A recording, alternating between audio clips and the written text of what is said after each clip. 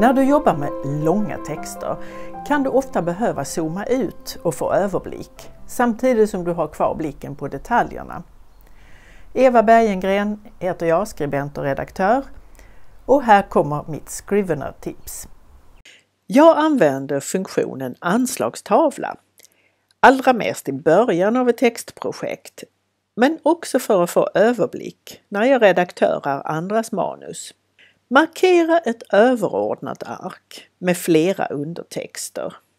I det här fallet är det en mapp. Och anslagstavlaläget det kommer du till via den här ikonen. En orange fyrkant med fyra vita fyrkanter inuti. Nu syns textarken som registerkort på arbetsytan. Tänk dig post-it-lapparna som du kan flytta runt och när du flyttar korten ändras också deras plats i pärmens lista.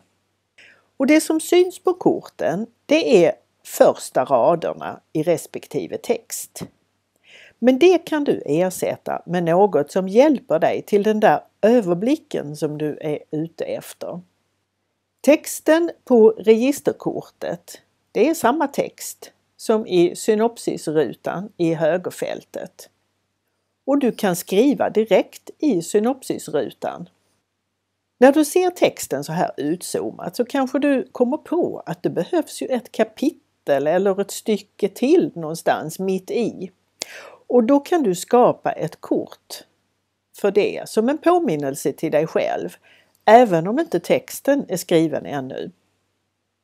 När du vill tillbaka till textläget för att skriva vidare så trycker du på Visa dokument och då har du texten i arbetsytan som vanligt. Det här var ett av mina vanligaste frågetecken när jag precis hade börjat använda Scrivener.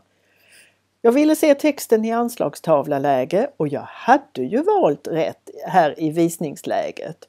Men det enda som syntes var intighet och det är en av snubbeltrådarna i början. Det är viktigt att mer än ett ark är markerat för att texten ska visas som registerkort. Och ska du kunna flytta runt korten så måste det vara en överordnad mapp som är markerad.